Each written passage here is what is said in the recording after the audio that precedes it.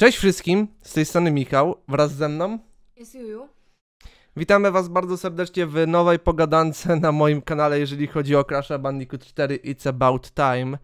Szczerze powiedziawszy, nie sądziłem, że wrócę do tego tematu, bo podejrzewałem, że tamta pogadanka o tej retrospekcji będzie ostatnią pogadanką, no ale no niestety, okazuje się, że wyciekł nowy gameplay, nowej postaci i no jak to ja muszę się, że tak powiem, do tego odnieść, no bo Któż by inny mógł się do tego odnieść niż ja? Nie no, oczywiście żarty. Wszystko się dobrze nagrywa? Świetnie, dobra. To co? Ruszamy z koksem. Oh, look at this outfit. Crash's outfit. so good. The master of subtlety. Uh, That's right. Look at it. He's a charmer.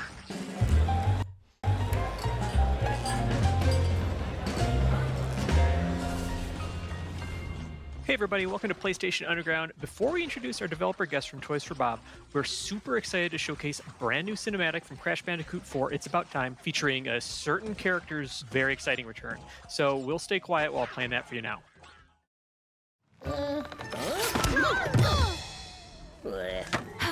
Thank you so much. Wait, Tana? But you're different. I to mi się w ogóle za bardzo podoba, bo generalnie nigdy Koko z Tauną nie miały żadnej styczności w cutscenkach. Tak. Ale właśnie przez to, że w sumie Insane Trilogy trochę zmienił fabułę, bo wiadomo jaką jaką dalszą drogę miała Tauna. Jak tam Naughty Dog się wytłumaczyło, czemu później się nie pojawiała w grach. To teraz zupełnie wszystko inaczej jest. Bez kitu. Ale to jest bardzo dobre. To mi się mega fest podoba i nawet wygląd Tauna nie jest zły w sumie. No wiesz, to jest wygląd, że no, oni się dawno nie widzieli, co nie? Więc dużo się mogło zmienić zresztą. Mm, Farbowane włosy, kurde. Taka bardziej rebel jest. No teraz Rebel się z niej zrobił. A wcześniej to wiesz, świeciła cycochami. A widzę, że cycki nawet mniejsze są. Oj. Oj, chyba Pinstripe nie dostarczył jej zbyt wielkiej frajdy. Nie wiem, jak teraz w ogóle fabuła się jej pociągnie, ale zobaczymy. Oglądamy dalej. You're not from our universe. It's good to see you guys. It's been a long time for me. Oh, we lost touch in your universe too, huh? Yeah, you could say that. what did we like die or something? What? No, nope, no, no, definitely not. So, how are things in your dimension? The usual. A bunch of evil scientists attempting Crash się znowu w niej zakochał, widać to. Zobacz po jego wyrazie twarzy. No, no. On znowu tak chyba czuje jakąś miętę do Tauny. Chyba ich wątek zaraz znowu będzie Nie, Rozwi- rozwinięty. interdimensional domination. Huh. So, uh, what you collecting? Crystals? Gems? Masks. Ooh, fun. Well, good luck with that. Wait, you're not coming? Sorry, I fly solo. But I'll, I'll lend a hand where I can. In fact, I already have. Wiesz co, odnoszę jedno wrażenie, że Tauna teraz troszeczkę przypomina mi z wyglądu taką e, jamrajską wersję tej, jak ona się nazywa, Chloe z Uncharted. Bo ona teraz tak z zachowania e, pokazuje, wiesz, taką wszechwiedzącą, że ona wie o co chodzi od, z tymi maskami. Mi się wydaje, że to takie, wiesz, może nie jest perfidne nawiązanie, ale tak coś mi się wydaje, że tak została w taki sposób napisane, że z takiej, wiesz, wiesz kobiety, która jest, bo jest, bo tam w Crashu jedynce była, bo była, bo była jego dziewczyną, to teraz to w zasadzie jest napisane jako taka, nie wiem, odważna, mężna poszukiwaczka przygód. No. Coś w tym może być, co nie?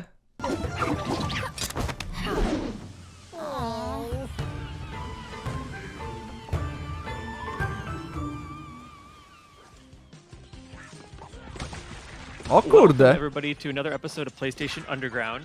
You got Tim and Kristen here, Hey. and we are so excited to be joined by Lou Studdert, producer on Crash 4 It's About Time, and Mandy Benanov, a writer on the game. Thanks so much for joining us for a little Mnie też dreszcze przychodzą, jak na to. Ale ty to na, na to wygląda, że wtedy Tauno zaczynamy grę. Że jakby to jest taka powiedzmy Nie mam cutscenka. pojęcia właśnie, ale to jest mega ciekawe, co nie? Mi się, mi się trochę że wydaje. jednak ta Tauna się pojawia po jakimś czasie i w ogóle zupełnie zmieniona. Chociaż wiadomo, Tauna była taka trochę bardziej no, zadziorna. Mi się wydaje. Ale teraz to się naprawdę zszokowałam tego. Znaczy wiadomo było, że był, po, było, był pokazany art właśnie Tauny, ale nie wiedziałam właśnie ja, jaką ona będzie miała rolę w tej grze. I teraz właśnie tutaj jest to pokazane. Mi się właściwie wydaje, tak plus minus, że to jest poziom taki przed pierwszym poziomem, że to jest tak zwane intro, że wydaje mi się, że fabuła będzie polegała też na tym, że oni gdzieś będą schwytani, Crash i albo po prostu będzie na zasadzie takiej, że cała akcja na początku zacznie się na statku, ktoś ich tam schwyta, pojawi się Tauna i Tauną trzeba będzie gdzieś tam dobiec, oni wtedy gdzieś za nią dobiegną i potem akcja będzie się, wiesz, stopniowo rozpoczynała od wyspy Wampa. Nie wiem właśnie, ale mówię, to bardzo ciekawie wygląda i po prostu chcę zobaczyć, co będzie. No ja tak samo, nie? Look at Crash Bandicoot zapauzuj 4. na chwilę. Yeah. Bierz pod uwagę to, że też y, całe, cała ta gra, cały ten gameplay, w sensie jak będziemy grać, będziemy grać kilkoma postaciami. No tak. I bierz pod uwagę to, że jak grasz na przykład Crashem, to też w tym samym czasie dzieje się fabuła na przykład Cortexa, tylko że jest w innym miejscu, ale chcę zacząć do tego właśnie tam Crasha dorwać czy coś tam. No tak, Każ- tak. Każ, jakby to powiedzieć, no ta fabuła ciągnie się tak, że no tak w tym samym czasie każdą postacią grasz, co nie? No. I też słuszna uwaga, bo jeden z moich widzów to zauważył e, pod poprzednią pogadanką, że e, jakby w Activision poszło za ciosem fanów, że zmienili w ogóle wygląd skrzynek Nitro, że teraz zamiast tego N to, tak, poprawili. to jest Teraz- poprawiony wygląd. I mi się to też bardzo podoba, że poprawili. Yeah, glad to be back. Great to be here. Well, Lou and Mandy, we're absolutely honored to have you both on. Kurde, ale wiesz co, sorry, że ja tak cały czas przerywam. Jak ktoś będzie chciał zobaczyć sobie całe wideo, to tam link oczywiście w opisie, ale mega mi się podoba tutaj ta woda. To jest taki trochę, nie wiem czemu, realistyczny efekt. To w ogóle sam koncept poziomu jest fajny. To jest coś, czego jeszcze w ogóle w serii nie było. Tak. Bo tam nie liczę oczywiście po kraszków, wiesz, e, przejazdu, gdzie tam można było na No, statek, ale to jest pierwszy raz, kiedy oni w ogóle na statku się pojawiają. to reveal Tana and Crash Bandicoot 4, you know, first with that awesome cutscene and now with a first look at her gameplay. So, where do we begin? Yeah, so uh, today we're super excited to be on PlayStation Underground, revealing uh, kind of our last playable character. This is Tana. Zapomnę Yeah. chwilę. To, to, że tak się przemieszczasz tym właśnie harpunem czy ten, przypomina mi pewne poziomy z Twin Sanity z Tak. Cortex. No mi to mówię, z kolei nie tyle co, co Nino przypomina, co mi bardziej przypomina właśnie, no mówię, e, Chloe z Uncharted. Tak. Bo pamiętam, że też były sekcje, gdzie Chloe się łapała tam różnych tych i za pomocą linki się przedostawała dalej, więc mówię, Tauna wydaje mi się, że jest pisana tak jak Chloe czy Ela, Elena, sorry, z Uncharted. Że takie, wiesz, mężne kobiety, poszukiwaczki przygód. Chociaż Elena na początku nie była, ale Chloe oczywiście. Yeah, Awesome. She's got a new style. it's exciting to see her like in this this version. Yeah, no, she's uh, you know, it was really exciting for us to kind of re-envision her role in the game, um, and so this is actually, as you saw in the the cinematic at the start here, this is Tana from another dimension, and so this is kind of our version of a, a Mnie tylko zastanawia, jaka tutaj będzie czasówka, bo coś czuję, że czas tutaj będzie też posrany na platynkę. Oj, coś czuję, że tu będą rage, kurde. Ja, ja, ja się boję, ja tu, ja, ja tu chyba nie będę platynek robił. unique kind of playable version of Tana. Alt Tana. Yeah. Yeah, this is great, and she's got it definitely. You know, one thing that's been really cool seeing O, playable tu co? characters for Crash 4 is, you know, Crash and Coco have a, a very traditional play style for, you know, Crash Bandicoot, but then you have, you know, Cortex who who kind of uses his his blaster to change enemies, and then recently revealed Dingo Dial and his vacuum cannon. So what what sets Tana apart, you know, gameplay wise that we're seeing here? Yeah, so Tana's kind of all about being like an action hero. yeah, she looks like it. And so for her, she's actually got a couple of really unique maneuvers that kind of change her gameplay uh, when compared to Crash and Coco or the other playable characters. Um, primarily, she has uh, what we call her hook shot. It's kind of a grappling hook that allows her uh, to traverse the level uh, really speedily. And then you can also see she's the only character that can wall jump. Um, and so for her, it's all about kind of quick traversal and comboing these different maneuvers together. Oh, there's that hook. Cool. Yeah, going from um, a rope swing to a hook shot uh, to a rail grind to a wall jump. She's all about being fast, nimble uh, in ways that the other characters aren't. Nice. I love Yeah. her design too, like just like the leg warmers and the hair. like it's very like 80s action od tej gry hero. Yeah. to I love it. Yeah, that's actually something that our, our, grania our w Crasha. Ech, nie wiem czemu mi się wydaje, że ta gierka e, szybko mi się nie znudzi, bo tutaj jest tyle tak jakby innowacji, świeżości, że po prostu Powiem ciężko. tak, o, ta gra jest na zupełnie nowym poziomie niż klasyczny Crash, więc będzie tutaj co robić, co nie? Ale nie wydaje mi się, że ona jakoś super długa będzie. Myślę, że to będzie gra tak na 9-10 godzin max. Zobaczymy. Wyjdzie w praniu. her team was really focused on was kind of making her seem like she's been on adventures and she's kind of found, you know, her own personal style and way forward in the world. Yeah. And and so um, we're seeing color splash out of her here. Um, what's going on there? Yeah, so this is actually a look at uh, one of our, our newly revealed modes called inverted mode. And so it's our kind of souped up take on a mirror mode. And so what we've got is kind of an inverted level layout, uh, but then also each of the dimensions has their own new and unique kind of art style and uh, experience. And so this one that we're showing off Hmm? Trochę więcej jest rzeczy poprawionych niż na poprzednich gameplayach. No, to jest prawda. Inaczej po prostu się patrzy na ten gameplay niż na poprzednie. Tak. Oglądamy dalej. today that Tana's playing through uh, is one where the world is black and white, but all of the actions that you do paint the environment. Okay, very cool. E, cześć, witamy was ponownie po krótkiej przerwie. Niespodziewanej zresztą. No i kontynuujemy dalej. Gotta watch out for those sharks. Yeah, it looks like you know, no matter who, what character you're playing in Crash 4, the that familiar, familiar but you know, challenging but fair difficulty is there. Um, I, I wanted to ask a question, you know, Mandy, for you, um, what it was like revisiting a character like, like you know, Tana, who's familiar, but this is a different take, and you know, she's been kind of out of the picture for a little while. You know, what was it like bringing her back uh, in this new way? Uh, it was really cool. I mean, the nice thing about doing an alternate universe character is it's kind of a blank canvas. So um, obviously, I had the art to go on as to what she looked like, but it was To jest chyba jakiś odpowiednik tych Future Tensów i tak dalej, tak mi się tak, wydaje. Może jakieś latające eko-śmietniki. Ty, albo to może jest parodia tego, Metropolis z Ratcheta i Clanka. No bo zobacz, tutaj leci ten przecież. really fun trying to figure out who she was and what her place in the story was. Sorry, I just I love this recycle bin. Yeah. you know, i- if you got to go. Gdzieś tam jest Coco Oh, kawiarnia as long as You can be u- useful and repurposed in your, you know, afterlife. That's good. Yeah, in the future, they can even reuse Bandicoot corpses. That's, that's good. you know, you got to get resourceful. Uh, that's awesome. One thing I'm curious about um, is is with uh, the different characters being playable. Sort of, how does it work for you know you pick up Ja powiem więcej, to jest coś więcej niż e, nowa część Crasha, to jest po prostu, kurde, nie, wie, nie jestem w stanie tego słowami nawet opisać, co to w ogóle jest. Tego to już nawet grom nie można nazwać. game it's and and you start playing? Is it a, like a linear progression of stages and To dużo od, to jest dużo odskocznia od tradycyjnego Crasha, co nie? Bez kitu.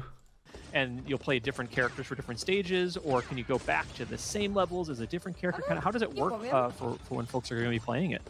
Sure. So the the main Dla Crasha przydatna jest ta Powiem tak, o, odskocz... To nie jest może aż tak wielka odskocznia w porównaniu tego. No, a co? Powiem tak, o, to nie jest jakaś taka duża odskocznia w porównaniu do Titansów i tam Mind over Mutant, gdzie ten. Ale jest. Przede wszystkim ta gra troszeczkę zaprzeczyła temu, co niektórzy fani sobie wyobrażali po wyjściu Insane Trilogy, czyli wszyscy fani myśleli, że seria będzie szła jednym schematem, a to już mamy trochę inny schemat. Bo Tak. tutaj jest eksperyment z innym kontentem, przez co większość fanów reaguje żygiem, bo nie jest to Insane Trilogy, bo nie jest to tak samo graficzne jak Insane Trilogy, bo to nie jest Ale tak, takie samo jak Insane Powiem ci Trilogy. tak, o jednak no ta zmiana była potrzebna, no bo wiadomo, ile można to ściągnąć przez e, jakiś czas. Powiem to tak. samo co ten, tak samo jak była oryginalna trylogia, a potem e, Draft of Cortex, który, który był kopią praktycznie Crasha trójki. Prawda jest taka, że nowe rzeczy, powiedzmy tak, oni wprowadzą coś nowego, jest źle. Coś starego będą ciągnęli w nieskończoność, też jest źle. Dlaczego? Ponieważ gdyby ciągnęli cały czas dalej ten sam stary styl, to byłoby, że seria jest mało innowacyjna. Praktycznie się nie rozwija, cały czas jest ta sama, e, Activision nie chce eksperymentować, e, ograniczają się, a tutaj jest dokładne zaprzeczenie temu twierdzeniu i uwierz mi, hejt jest teraz jaki jest, bo nie jest to samo co Insane Trilogy, ale myślę, że jak ludzie zagrają, to zmienią zdanie. A jak nie zmienią, to Też tak Trudno. uważam, bo widzę po, po, gameplayu, że to jest coś lepszego po prostu. Co prawda nie jest to typowo klasyczny Crash, który tam był wcześniej, ale jednak są domieszki też e, tej, tej tak jakby powiedzieć, no wcześ, wcześniejszej trylogii. no, lecimy dalej. Adventure is a linear series of stages. We've kind of taken our cue from uh, Crash Bandicoot 1, and we've got what we call the dimensional map, which is kind of this overview of the levels, and that allows us to introduce new mechanics and new, mecha- new characters. łumpa, co z tamtej skrzynki Tak, tak, zauważyłem. Tak mi przypomina właśnie tego łumpasa z Titansów. Ale mówię, to, to nie wiem czemu mi się kojarzy z Ratchetem i Clankiem przez ten gameplay właśnie. To jest łudząco podobny gameplay do Ratcheta i Clanka. Zresztą w ogóle samo miasto przypomina tak, Metropolis. Powiem szczerze, że no raczej nie ma immunitetu na to, co nie? No nie ma immunitetu oczywiście, ale chodzi o to, że takie skojarzenie mam od razu. Mówię, Ja no, też miałam oglądając... na takie skojarzenia, ale no to jest ciekawe, bo jednak też, no wiadomo. To tylko pokazuje, że Crash jak chce to potrafi i w tym momencie akurat Crash przez właśnie gameplay Towny według mnie nawiązał do właśnie Chloe z Uncharted, a samym wyglądem tej lokacji przypomina mi właśnie Ratcheta i Clanka. I to chyba na Tools of Destruction. Tutaj jest linia, a 70, y, czy 27, co nie? O, W ogóle zauważyłam, że jest dużo smaczków, bo ostatnio na Facebooku z, był jakiś taki screen z y, CT, CTR-a, Nitrofield. no.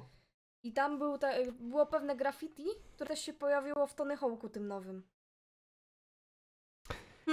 Ciągle nawiązania, ciągle nawiązania. Są różne smaczki. characters along the way. Now, the three uh, additional playable characters, Tana, Cortex, and Dingo Dial, will be Tam- introduced. Weź cofnij trochę. Już zauważyłam jeden smaczek. CTR. No, ale wiesz co ci powiem? Ogólnie to było potrzebne dla tej serii. Ja uważam, że to było potrzebne dla tej serii. Albo Chicken Chop. Tana, Cortex, and Dingo Dial will be introduced with their Yeah. own main level story Mhm. uh, to get you up to speed on how they play, what their movesets are, so we can kind of train you in how to play them and introduce their storylines. But from that point on, uh, they actually are mostly in Nie, oficjalnie zakochałem się w gameplayu Towny. Oficjalnie to, to jest, będzie moja chyba ulubiona postać. Optional levels that we call timelines. Mm. And so these timelines are these really fun levels where half of the level is playing as uh, these unique characters in their own level section. Mhm. And then you see how their story uh, interacts with Crash and Coco. Interesting. So it's more like they're this is like the sideline of what's happening. Yes, exactly. And and so it was kind of fun is you know when we were working on this and you know when Mandy was doing uh, the the writing and figuring out how we wanted to do this, we kind of joked you know of each of these different characters have their own way of interacting. Where Cortex, being you know a, a villain, is doing stuff to hinder Crash and Coco. Uh, Dingo Dial is just kind of an accidental uh, tourist in all of this, and so he's mostly just kind of causing havoc unknowingly. But then Tana is all about almost being kind of like a guardian angel on the sidelines. Da. Aw.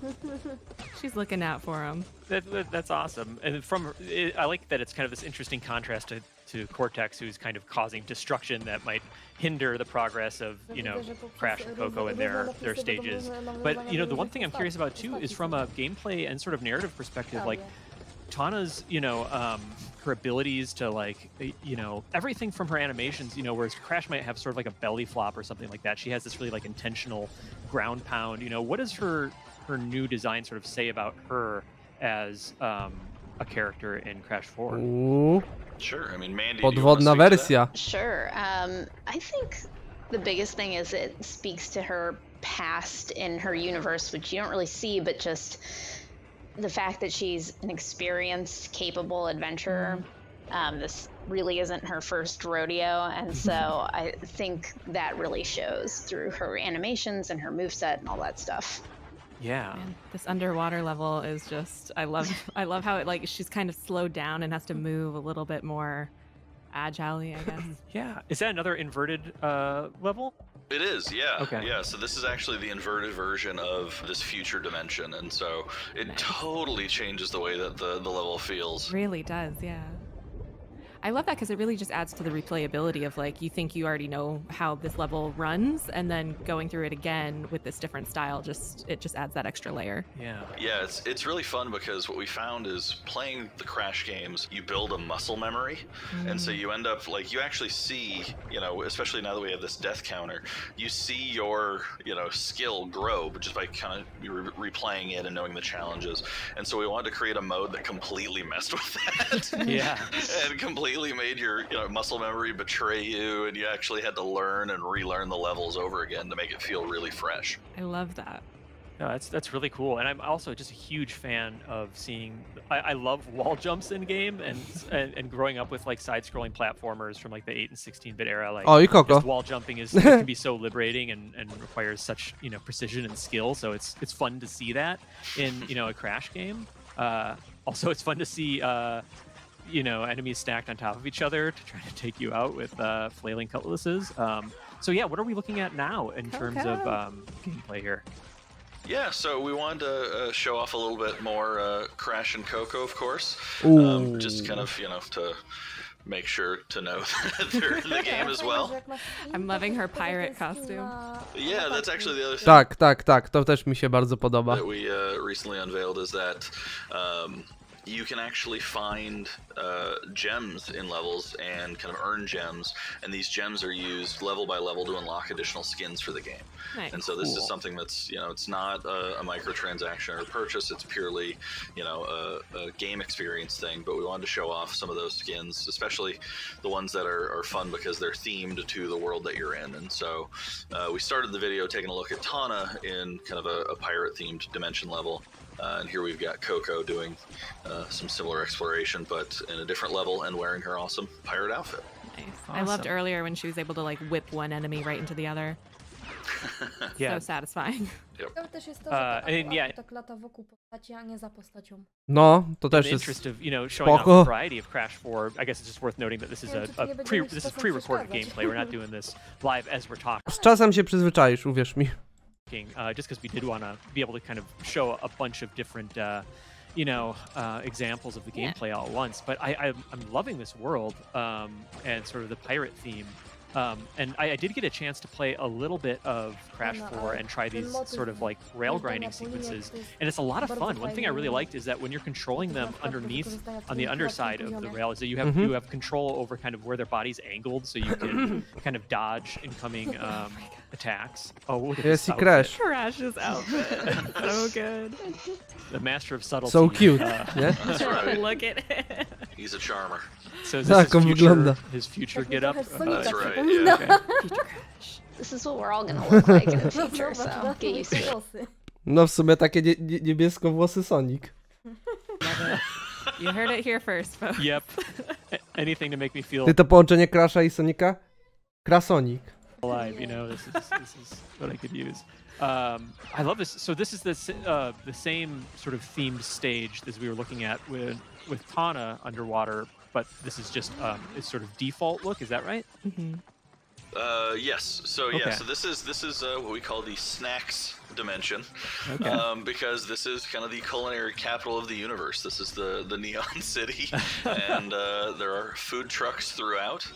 Um, No to było pewne, and it's actually what we wanted to do was make a, a futuristic world that was ultra, you know, happy and positive. We didn't want to make, you know, a super dark, depressing dystopia, and we actually went and, uh, you know, made this super fun, super vibrant, futuristic city, and, and we actually have signage of different cultures and different uh, languages represented. No, because brakuje. This is just the hangout of the universe. Mhm. That's great, and and we're also um, you know seeing some of the uh, the quantum mass gameplay here too. Tak. So um, that will will change the the you know different elements of the gameplay. You know from slowing time to phasing things in and out of reality and what have you. So one thing just worth calling out there. All right, so we're just about out of time. Lou, Mandy, thank you so much for joining us on PlayStation Underground. Pleasure to be here. Yeah, thanks for having us. Yep, and Crash Bandicoot Mhm. 4, It's About Time hits PS4 on Dla mnie bardzo interesujące. October 2nd, 2020. No i to by było na tyle, no. W sumie to, co chcieliśmy, to powiedzieliśmy. Jakieś podsumowanko, czy coś? Można jakieś zrobić. Myślę, że możemy zacząć od ciebie.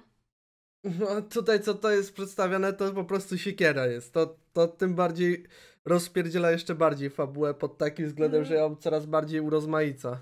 Mnie zagiął, zagiął gameplay Tauny, No, gameplay Towny to jest po prostu... Mua.